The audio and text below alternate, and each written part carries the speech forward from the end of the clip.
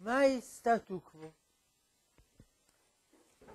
סטטו קוו מוזכר בספר קהלת,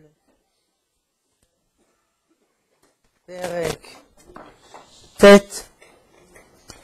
פסוק י"ד. עיר קטנה ואנשים בה, ומצא בה איש מסכן חכם, ומילט הוא את העיר בחוכמתו. ואדם לא זכר את האיש המסכן ההוא. כלומר, הסטטוס קוו, סטטוס קוו, הוא מי שמציל את המדינה. ואנשים לא יודעים את זה, ומבזים אותו. איש מסכן. לפעמים זה נאמר על איש, לפעמים זה נאמר על רעיון. ומעשה שהיה כך היה. החרדים התנגדו להקמת המדינה. לחמו נגד הקמת המדינה. התנגדו להצהרת בלפור. עד שבשנת תרצ"ז, תרצ"ז, הייתה ועידת, עלה היטלר, היטלר לשלטון. ואגודה בוועידת מריינבד החליטו שהם מסכימים עם מדינה.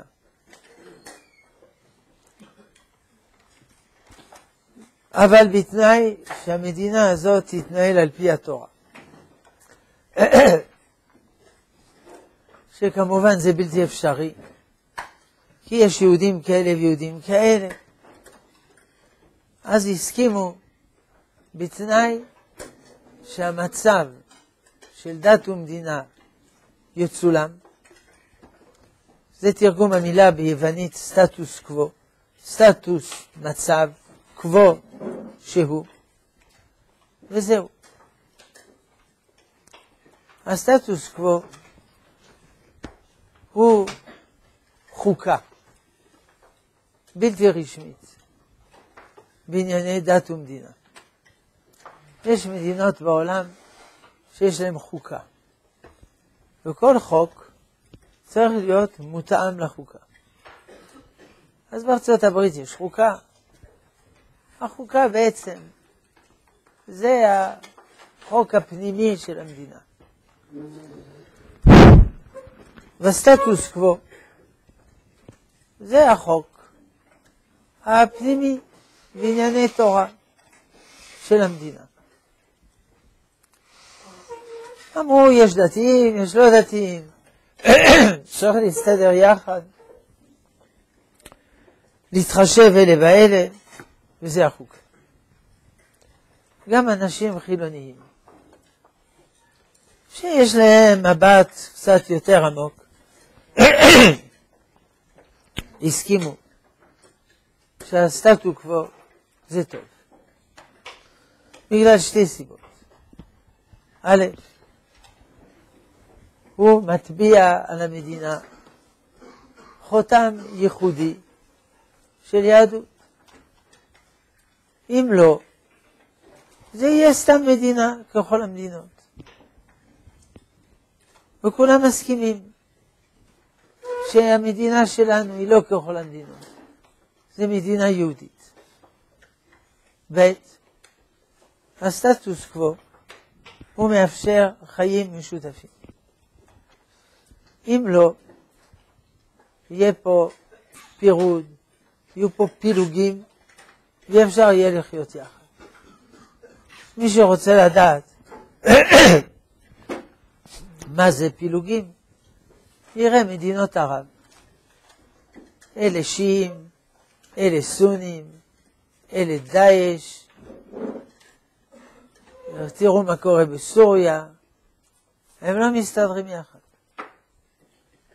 יש ביניהם הבדלי דת וכו'. והסטטוס קוו הזה, הוא מאפשר שנחיה ביחד, באהבה ואחווה ושלום ורעות. קצת אלה מוותרים, קצת אלה מוותרים. מצלמים את המצב. הסטטוס קוו הוא מטביע חותם מסוים של קדושה, של טהרה על המדינה. מהרגע שאדם נולד, דרך הנישואין, קבורה, כשרות, בצבא, וכולי וכולי. הוא לא אידיאלי, אבל זה טוב יחסית. האידיאל זה ממלכת כהנים וגוי קדוש. ואסחה לגוי גדול. ומגוי גדול זה על אברהם אבינו ואסחה לגוי גדול. דברים ד' ז' ח' ומגוי גדול אשר לא אלוהים קרובים אליו. ומגוי גדול אשר לא חוקים טובים וצדיקים. ממלכת כהנים וגוי קדוש. זה הטרקלין. והפרוזדור זה הסטטוס קוו. התקן את עצמך בפרוזדור כדי שתיכנס לטרקלין. יש אומרים, הסטטוס קוו נגד חופש הפרט. חכם בלילה. בוודאי שיש חופש הפרט, אבל פה זה לא ג'ונגל. פה זה מדינה. במדינה יש חוקים. אתה רוצה לבטל כל החוקים בגלל חופש הפרט? בכל מדינה יש חוקים.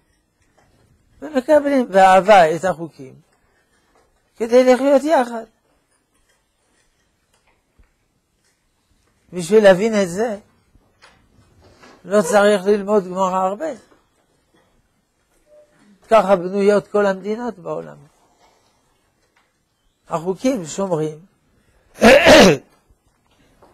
החוקים אומרים, בסדר, אתה, יש לך חירות, החירות שלך מסתיימת איפה שהיא פוגעת בחירות של הזולת. ג'ון סטוארט מיל, בספרו החירות. החירות גם שומרת, החוקים גם שומרים, על האופי של המדינה. מה שנקרא בסוציולוגיה פיקוח חברתי. כלומר, החברה, מותר לה לשמור על אופייה. ומי שחורג מן האופי ועלול לשנות את האופי של החברה, החברה מגיבה. לכן, גם בחברה מתירנית, כמו המערב, שהכל מותרים לך, הכל שרויים לך, יש עקיפה מוסרית. יש חוקים בתחומים מוסריים. לאו דווקא בתחומים כלכליים, של מיסוי, אלא בעניינים מוסריים. דוגמה, חגורת, חגורת בטיחות וחבישת קסדת מגן לרוכבי אופנוע. מה אתה מתערב לו בחיים? כי זה מסוכן. אז הוא יחליט מה זה מסוכן. לא, אנחנו מחליטים בשבילו. אז זה סותר את החופש. אז כש... בארצות הברית יש חוק חפישת קסדת מגן, אז האגודה הלאומית לרוכבי אופנוע הגישה בג"ץ, לא בג"ץ, כי יש בארצות הברית חוקה כללית לארצות הברית וחוקים בכל מדינה ומדינה. הוגשו חמישים ערעורים בארצות הברית. והם נדחו. הם אמרו, מה, מה אכפת לך? יש שדחו בפלפולים דחוקים. תשמע, בגלל, אם אין לו קסדת מגן, יש לו תאונה, זה עולה כסף, טיפול רפואי, מן הכיס של משלם המיסים. וזה, וזה שטויות. אז היו צריכים לחקוק חוק להרכבת משקפיים. כי כל מי שנוסע על אופנוע יודע מאוד, טוב מאוד, שנתקע לו פתאום זבוב בעין, הוא עלול לתאונה. אמרו לא, יהיה לו תאונה, הוא יסטה מהכביש וידרוס אנשים על המדרכה. שטויות. החוק הוא בגלל שאדם שלא חובש חבזת מגן הוא אידיוט, ושומרים עליו. נקודה. קוראים לזה יחס אבהי, פטרנליסטי. זה מחלוקת בין פרופסור הארט ולורד דבלין. לגבי העקיפה המוסרית. פרופסור הארט אומר, זה זכות החברה לשמור על עצמה.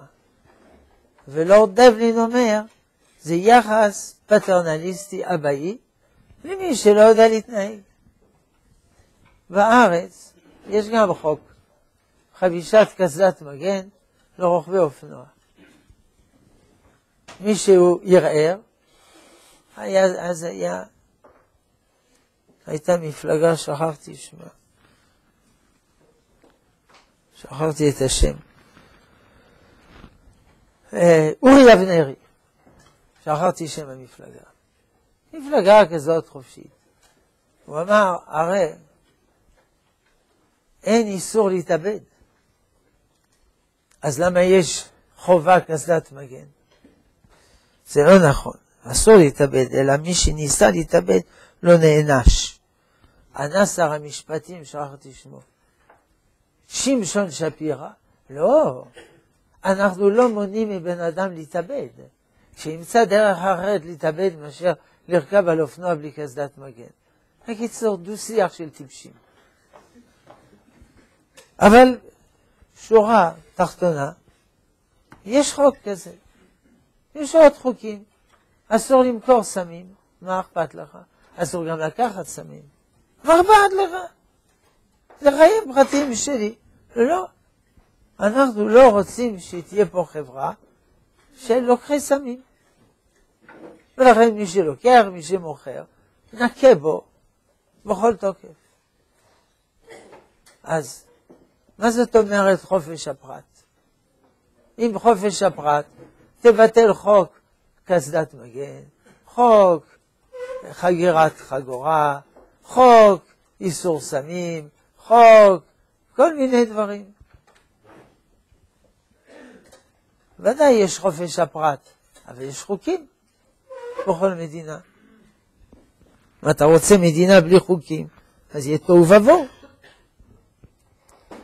והחוק הזה של הסטטו קוו הוא טוב מאוד, הוא לא חוק. אף פעם לא חוקקו שיש סטטו קוו. זה מעל החוקים. זה הסכמה.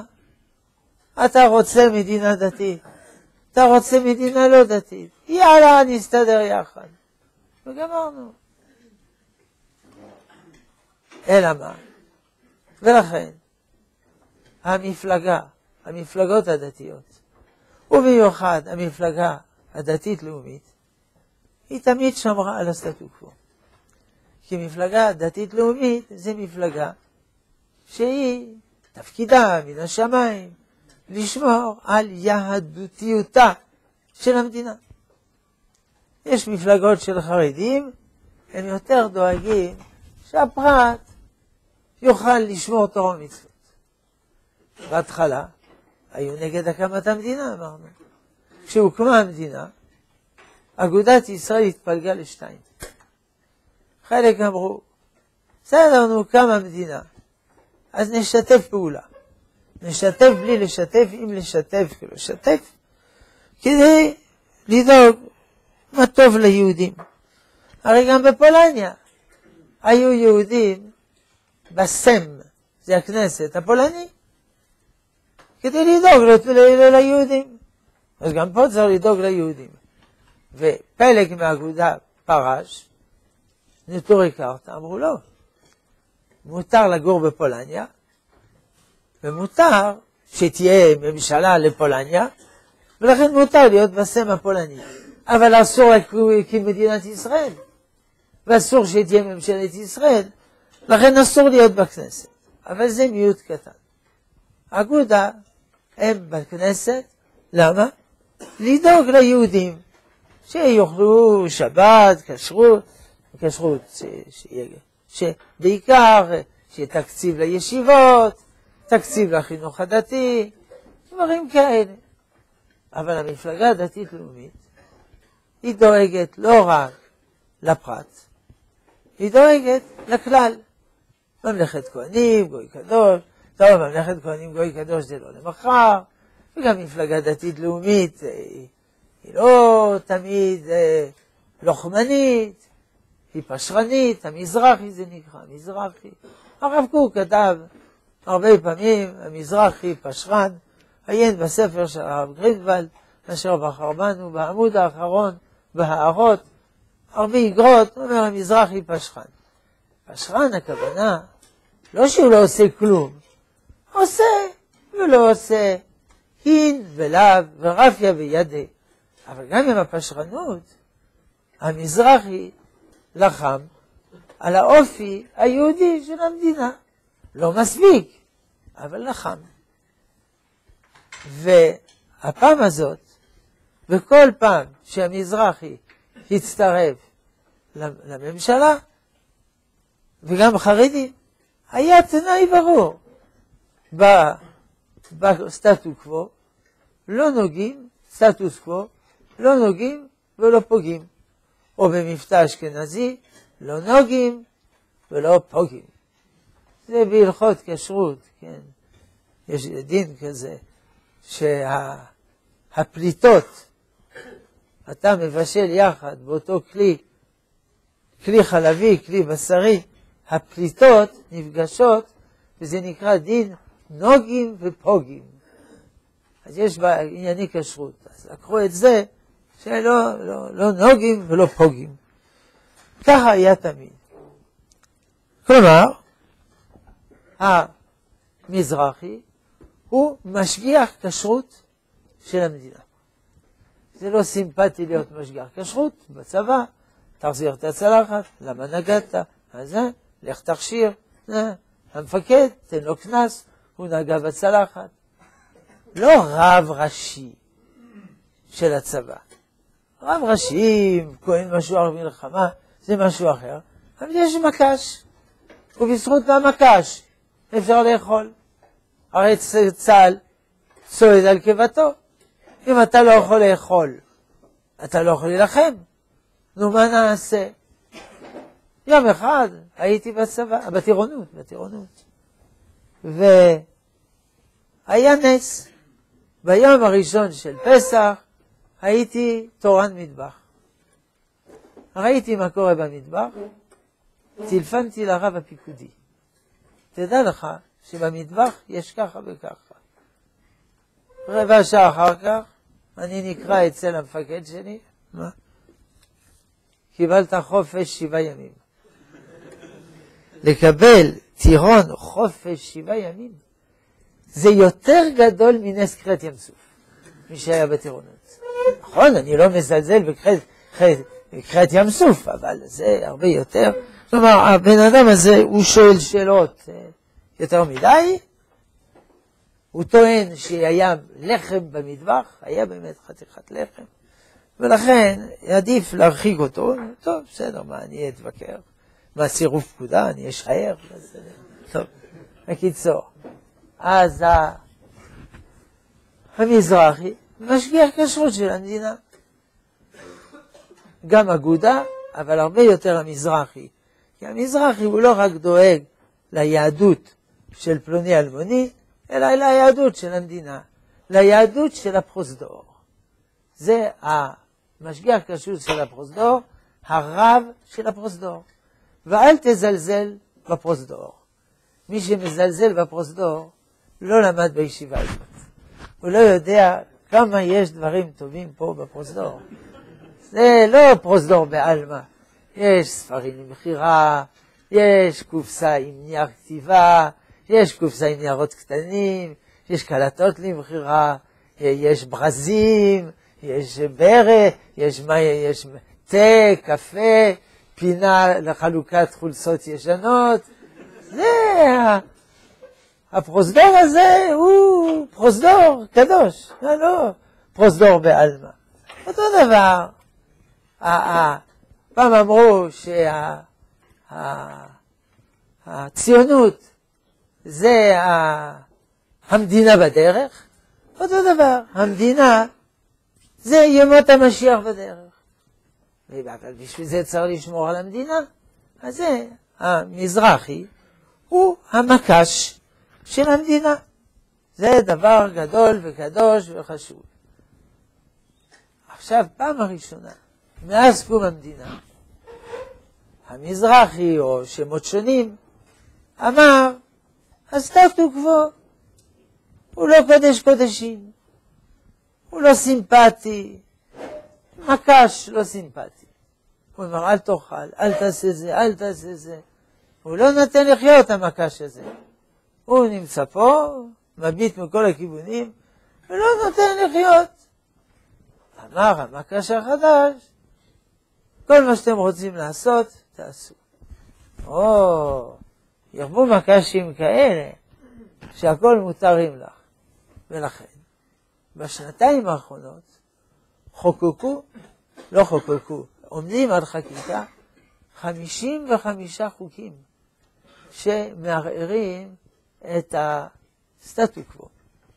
חלק חוקקו, נחקקו, חלק בתהליך חקיקה, כי תהליך חקיקה זה מסובך, אני כבר לא זוכר כל הפרטים, קריאה ראשונה, קריאה שנייה, ועדת שרים, ועדת זה, וזה, הרבה, וחלק הם מחכים בקנה. אמר הרב הראשי הספרדי, חמש זה עין, זה נגד עין הרע. וחמישים וחמש, או, זה נגד עין הרע רבתי. ולכן צריך להילחם נגד החמישים וחמישה, זה אה, עין טובה. כן, בכתובות של הספרדים, נכון? 555 שקלים, 55 וחמש אגורות. זה נגד עין הרע. זה שטויות של ספרדים, לא לדאוג, יש גם שטויות של אשכנזים, וזה מחלוקת אילו שטויות יותר גדולות. זה תלוי. אשכנזים אומרים של אלה, ספרדים אומרים של אלה. כן?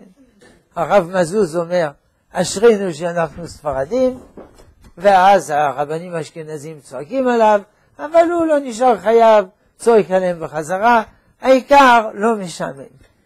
אבל uh, כיוון שזו מחלוקת מי יותר חשוב, אשכנזים או ספרדים, לכן מומלץ שהאשכנזים בישיבה יתחתנו עם ספרדיות, וספרדי, והספרדים עם אשכנזיות, כדי שלא, ולפעמים יש תקציבים רק לאשכנזים ותקציבים רק לספרדים.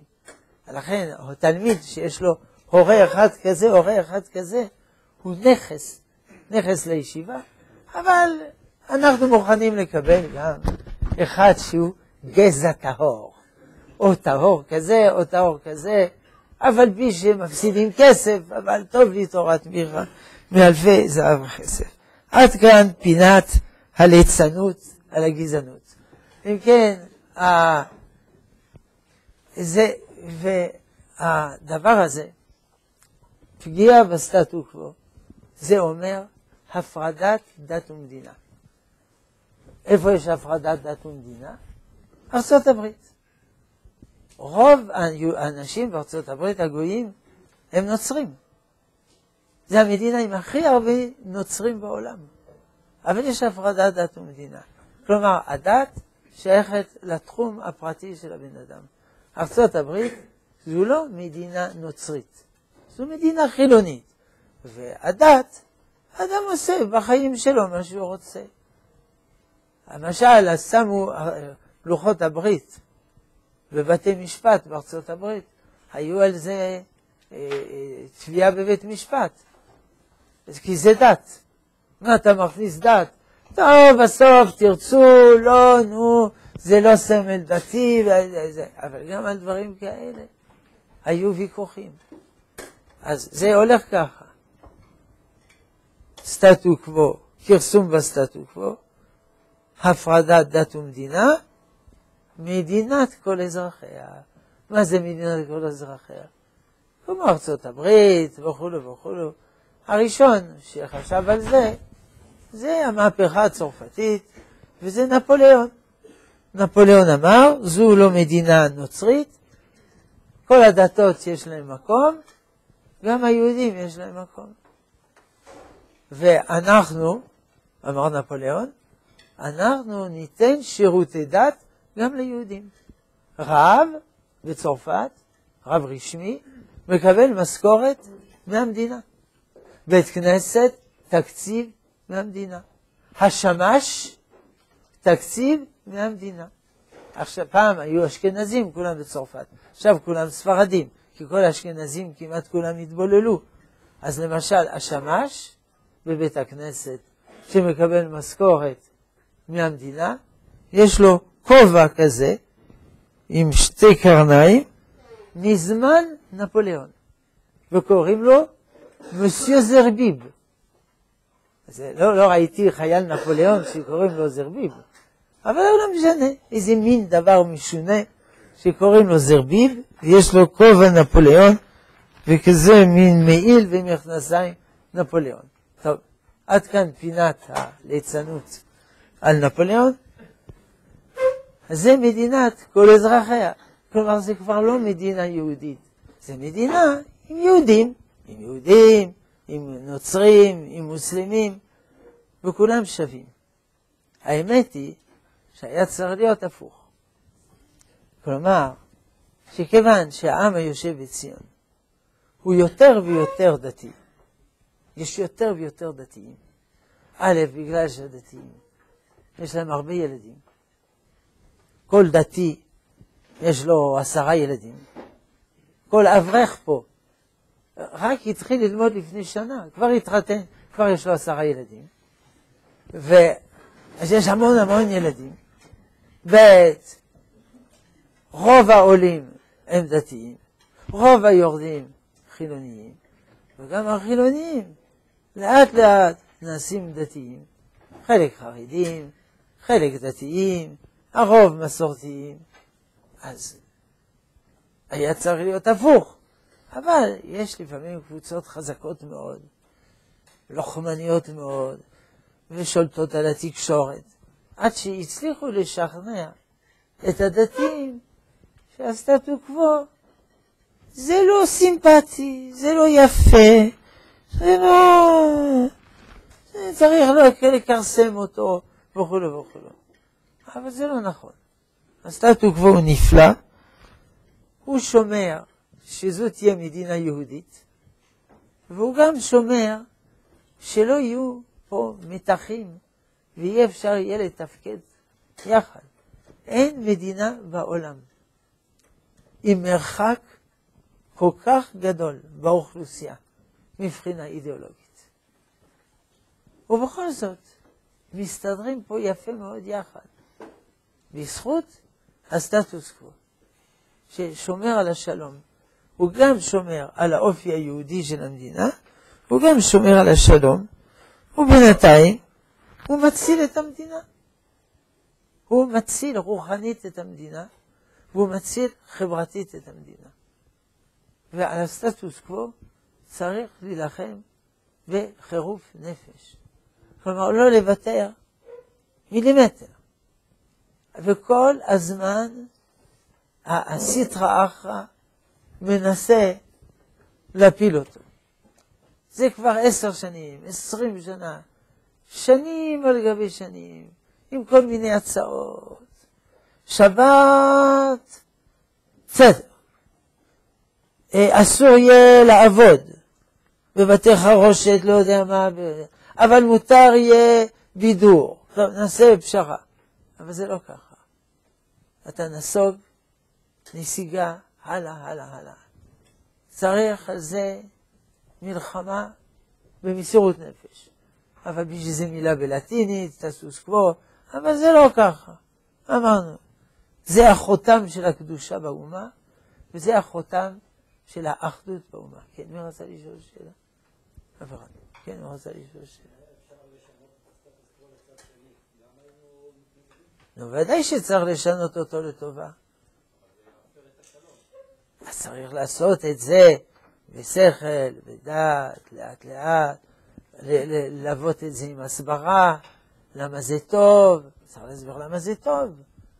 לא להפיל החלטות על ידי רוב קואליציוני. צריך להסביר, לברר. אם מסבירים, אנשים מבינים.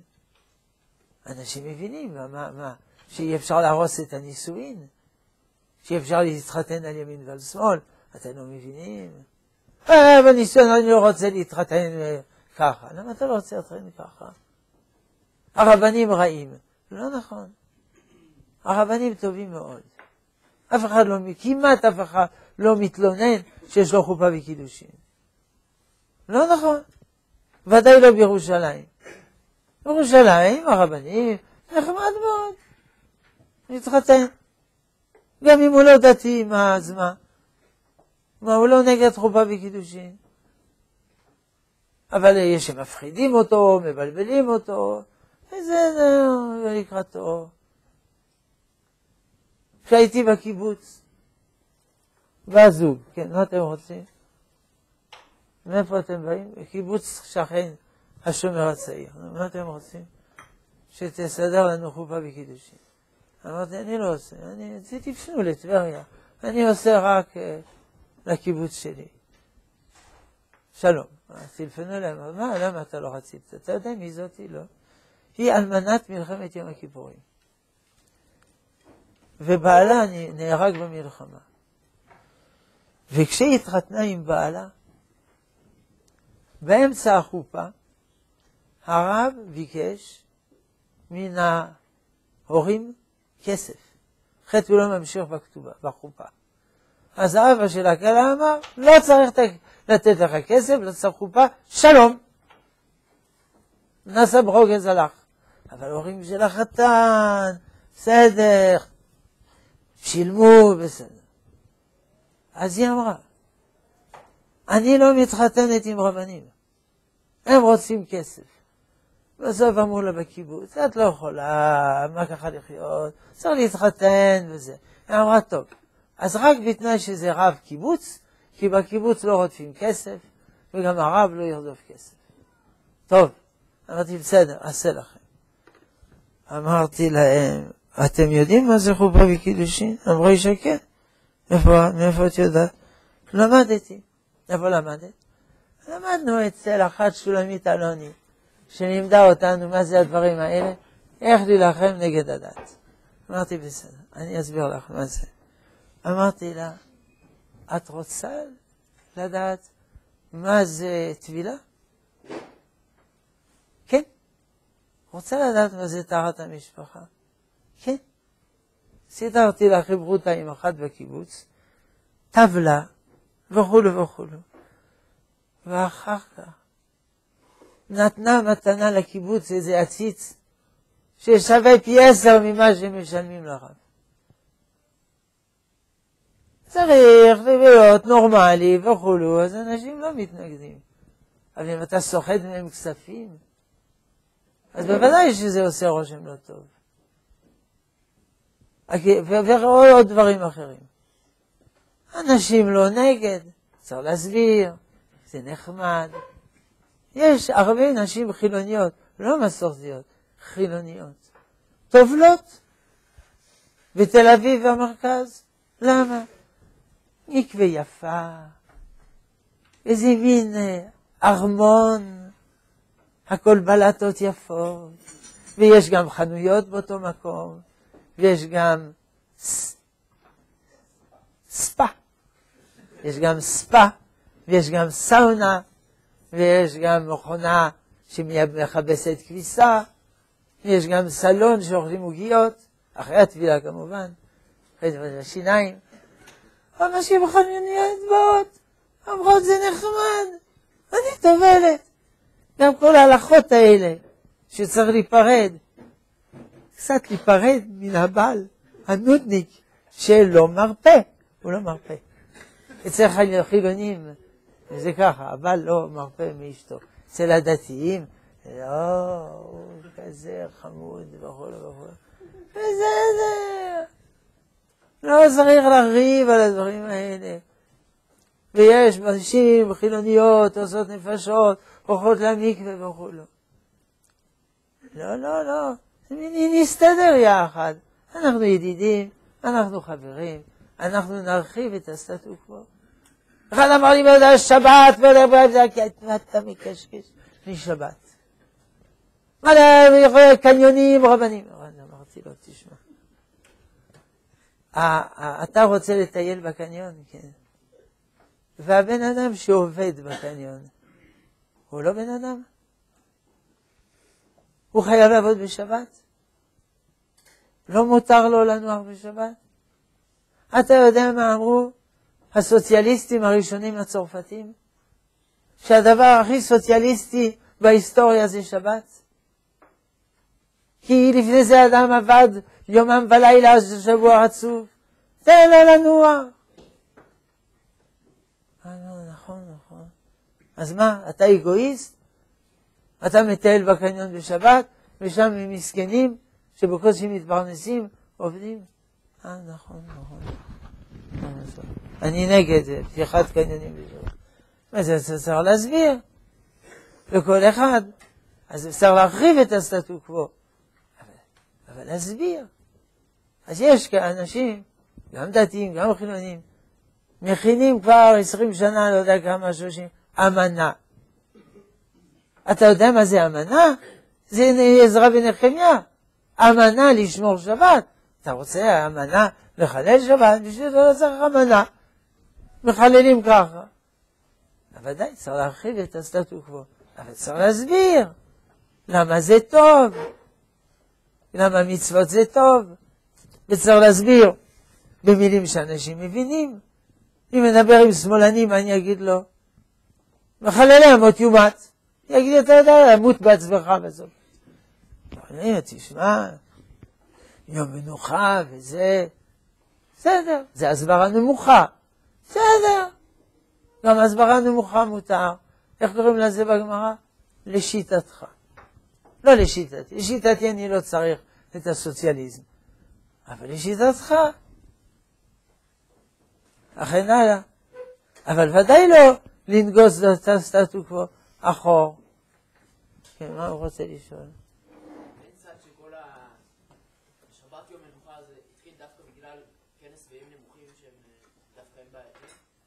כן. עוד פעם, מה התחיל? החוקים בשביל שבת כיום מנוחה ציבורי. כן. זה לא דווקא התחיל בגלל הסדרים נמוכים? יכול להיות. יש לו שיקול נמוך לחלל שבת, אנחנו ניתן לו שיקול באותו מובן, לא לחלל שבת. כל אחד צריך להסביר לו במילים שהוא מבין. יהושע בן נון היודע להתהלך עם רוחו של כל אחד. יש אחד אומרים לו, תשמע, צריך לשמור תורה ומצוות, כי אדם נמצא בעולם כדי לעבוד את השם. אחד, זה לא מעניין אותו, אומרים לו, תראה, אתה רוצה, אחרי שתמות, אתה רוצה מקום מכובד בגן עדן או מקום לא מכובד? אה? ואחד עוד יותר נמוך, אומרים לו, אתה רוצה מכות?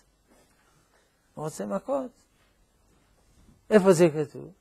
נכון, מסילת ישרים. פרק ד', אם אני לא טועה. כל אחד מדברים בשפה שהוא מבין. אתה רוצה אידיאליזם, אתה רוצה כבוד, אתה רוצה מכות. אדם שמבין מכות, אפשר לדבר מכות? למה לא? סיפרתי סיפור. אחד, הוא בא לבנק, ערבי, עם צ'ק. הוא אומרת לפקידה, תחתום על הצ'ק. לא, לא פה, אחורה. למה אחורה? היהודי הוא חותם קדימה. אני אחורה? בבקשה, תחתום אחורה. למה אני אחורה? זה הגזענות, הגזענות. הפקידה, תחתום אחורה. אני הולך למנהל. לך למנהל. בא למנהל. זה הפקידה אחורה, קדימה, אין לו זמן שטויות.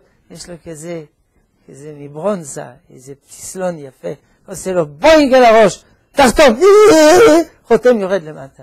הפקידה אומרת, נו, חתמת? הוא יודע להסביר. אז כל אחד צריך להסביר בשפה שלו מה, מה אתה רוצה. לשיטתך, תקרא אגרות הרב קוק. אתה טוען שאין תורה מסיני, ושהתורה היא המצאה, ושהתורה היא מיתוס, לשיטתך. אבל זה מיתוס טוב. זה מיתוס ששמר את האומה. זה מיתוס שהרוג בהיסטוריה שלנו. אז תראה. לא שהרב קוק אמר שהתורה זה מיתוס, אבל זה מה שהוא מבין. אז צריך להסביר לו איך שהוא מבין. סיכום, ודאי, היה צריך להרחיב, אבל קשה וזה, לאט לאט. אבל להחזיק במשק היה, לבחור לשאול? כן. היום כל עבודה שאדם עובד, יש לו חופש, אז הוא לוקח את החופש הזה באמצע שבוע. כאילו, יש להם, עובדים חמישה ימים בשבוע. כן. אדם הוא רוצה חופש בשבת, כשלילדים יש חופש, כשלכולם יש חופש, ולא זרוק באמצע השבוע. זה לא הולך ככה. עכשיו, מה, אנחנו פה ועדה להסברה? יש ארבע הסברות, כידוע. מוסרית, לאומית, דתית, אלוקית. וכל אחד, מסבירים לו איך שהוא מבין. זה במאמר... אה, איך? תללי אורות. תסתכלו בכרוזים של הרב צודה בספר להלכות ציבור, כל נושא יש לו תמיד ארבע הסברות. הוא לא כותב הסברה ראשונה, שנייה, שלישית, רביעית. לאלה ככה, לאלה, הוא בולל יחד. בסדר. אבל זה לא הנושא כרגע אם לקדם. הבעיה שהוא נסוג אחור. יש מגמה. ודאי, יש אנשים שלא רוצים מדינה יהודית. הם מבולבלים על כל הראש. השם ירחם עליהם. אבל לא בגלל שאנחנו מרחמים עליהם מה השם כלל ישראל. לכן, הסטטוס קוו זה דבר מעולה, סטטוס קוו זה דבר מעולה. זה, אמרנו, חותם של קדושה ושל טהרה ושל יהדות על המדינה, מתוך הסכמה לא רשמית. אף פעם לא הסכימו על זה. אבל זה מובן מאליו. צריך להסתדר יחד, מתוך אהבה ואחווה. אני מוותר לך על זה, אתה מוותר לי על זה, אנחנו ידידים, אנחנו חברים, בסדר. אל תבוא לצד אחד להסית אותו, למה ויתרת על זה, אל תוותר, כן תוותר. יתחילו פה מתחים. תמיד היו מתחים במדינה. מתחים. אבל הם היו זהירים, והצלחנו תמיד, אבל זה לעשות שלום, להמשיך לסחוב הלאה. עשו ברוגז, עשו שלום, ומושכים את, ההגה, את, ה, את הספינה. כמו שאומרים, מה, מה, מה רשאי אה, אה, אה, מי שנוסע בספינה לדרוש מהקברניטים של הספינה, אתם לא מסכימים, אתם מתווכחים ביניכם, אין בעיה. עד גבול מסוים, שזה לא יטביע את הספינה. אם זה יטביע את הספינה, אנחנו לא מרשים לכם. אז זה לא, לא, לא, לא, לא להגזים בוויכוחים האלה. יאללה, נו, די, די, נו. זה, זה, תמות נפשי פלישתים, אבל פה זה לא פלישתים, פה זה יהודים. סיכום, סטטוס קוו, דבר טוב, צריך להילחם עליו במסירות נפש. מה שלא לחוקק יותר, ומה שחקקו, חייבים לעצור. צריכים לתקן למפרע. השני, הסעיף הכי חמור זה הגיור. שכל רב יכול לגייר. אני לא יודע איך הוא יגייר, אבל הוא רב. אז מה אם הוא רב? לא יכול להיות שני גיורים. זה מפריע לנו כבר שיש 14 כשרויות. ואחד לא אוכל מזה, ואחד לא אוכל מזה. אוכל זה וזה זה. אבא מזמין את הילדים שלו, כל זוג שולחן אחר עם כשרות אחרת, לא אוכל ממך, זה פלאץ' בפרצוף, זורק לו את המרק, כן, לא, ו... זה כבר נורא ואיום הדבר הזה. אבל מילא, אל תאכל, כן תאכל. אבל לא יכול להיות שיהיה אדם, הרב הזה אומר הוא יהודי, רב שני אומר הוא לא יהודי. זה, בלתי אפשרי מצב כזה. זה, זה שיגעון עולמי. מילא יש כשרויות שונות, בסדר. איזה ציציות, זה ציצית, לך טלית קטן, כן, מניילון. אה, אה, יש אומרים טוב, יש אומרים לא טוב, כן טוב, יש אומרים כן, יש אומרים לא, יש אומרים לי ברכה. בסדר. כל אחד ילך לטלית קטן שהוא רוצה. אבל יש ציציות, ציציות מכונה, ציציות יד, כפול שמונה, כפול ארבע, כפול... בסדר. לא בודק לך בציציות.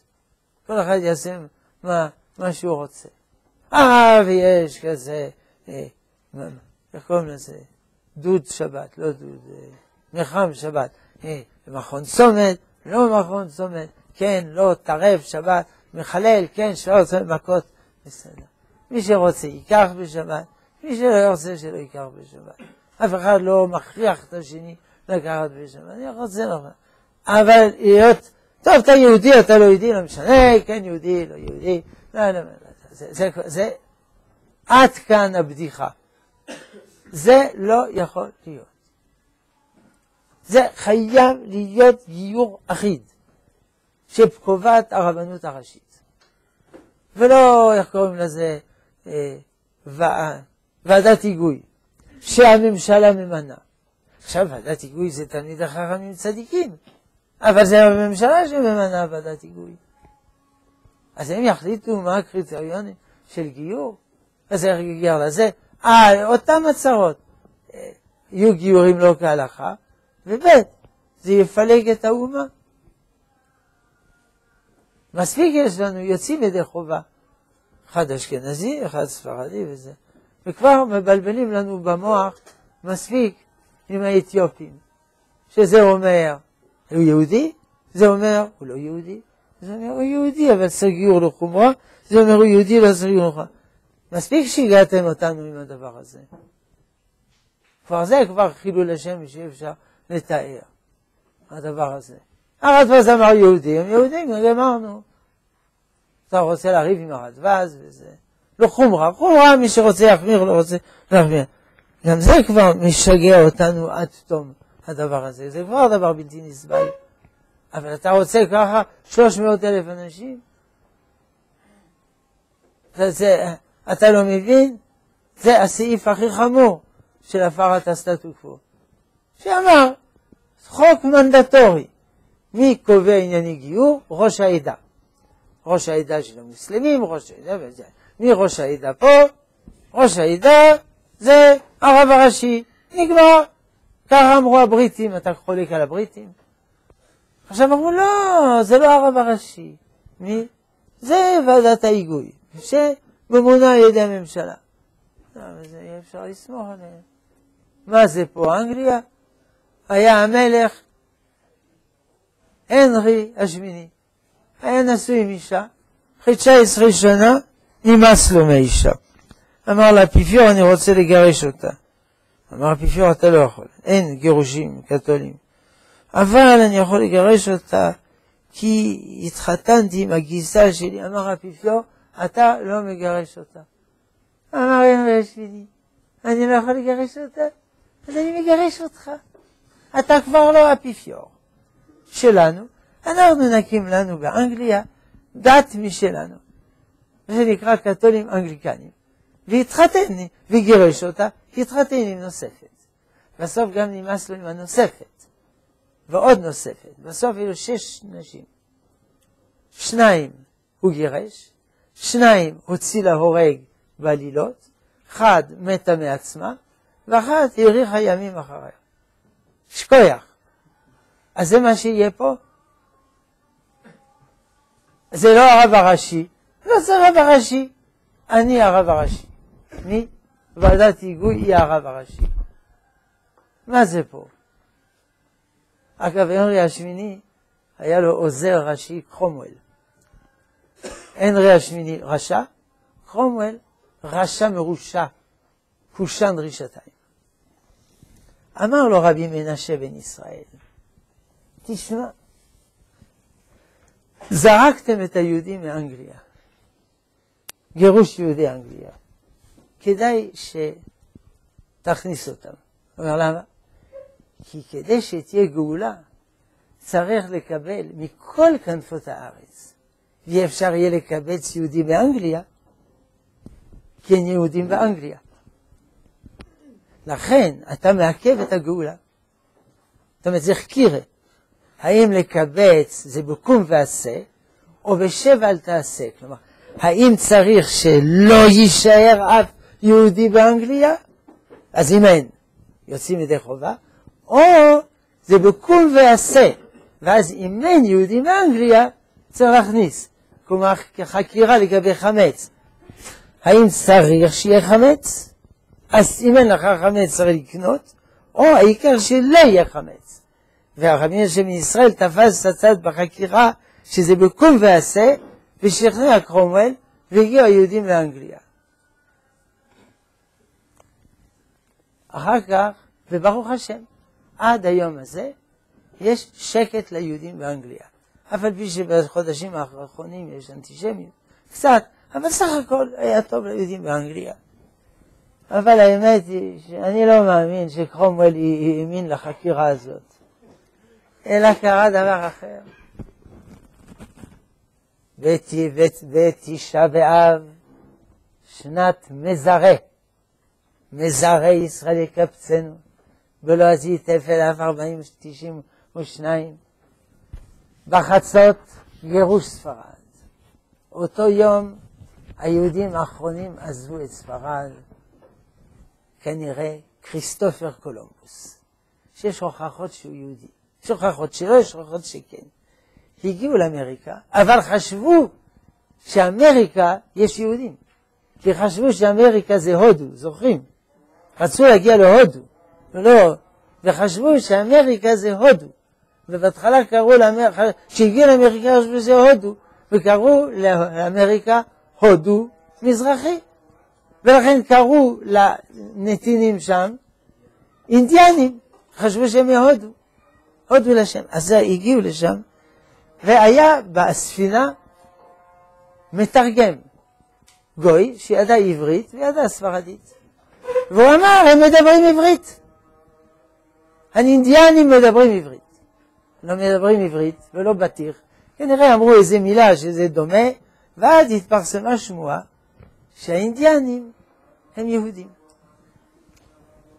אז היהודים וספרד, חזר להם סומק על, ה, על הלחיים, אמרו, יש שם מדינה יהודית, במקום לעלות לארץ, שזה מקום מסובך, נעלה לשם, נקים צבא ונכבוש את הארץ.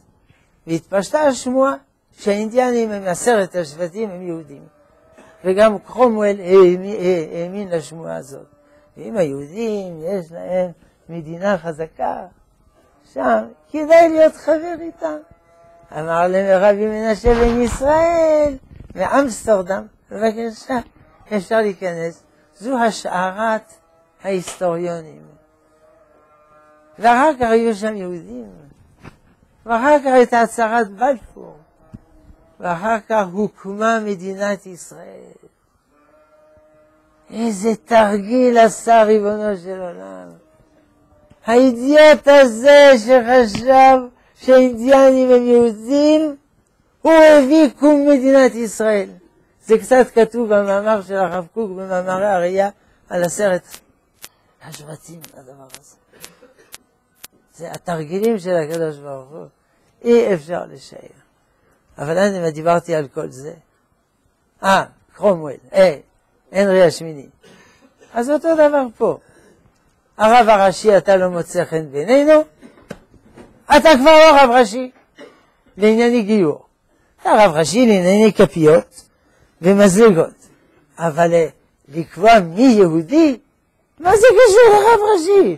מה, מה, מה, מה?